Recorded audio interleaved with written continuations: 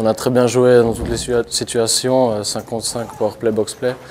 Puis on a réussi à prendre, prendre quelques longueurs d'avance au deuxième tiers, ce qui nous a aidé un peu à, jouer plus, plus sereinement, on va dire. Et puis, puis c'est bien.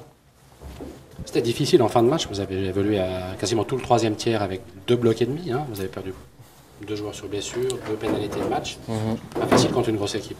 Ouais, on a perdu deux défenseurs et deux attaquants, sauf erreur. Et euh, c'est clair que c'est des choses qui arrivent, il faut savoir s'adapter. Euh, après, c'est le coach qui, qui, remanie ses lignes en fonction.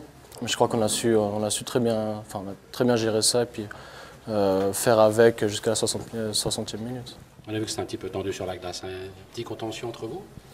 Bah, on, avait, on était vraiment égalité au classement. On voulait les, les, deux, équipes voulaient gagner et remporter ces trois points pour prendre la tête.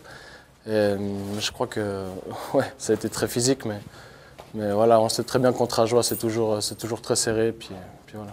C'est un avant-goût des playoffs. Hein. Pardon? C'est un avant-goût pour les playoffs. Exactement, Merci beaucoup, Benjamin. Merci.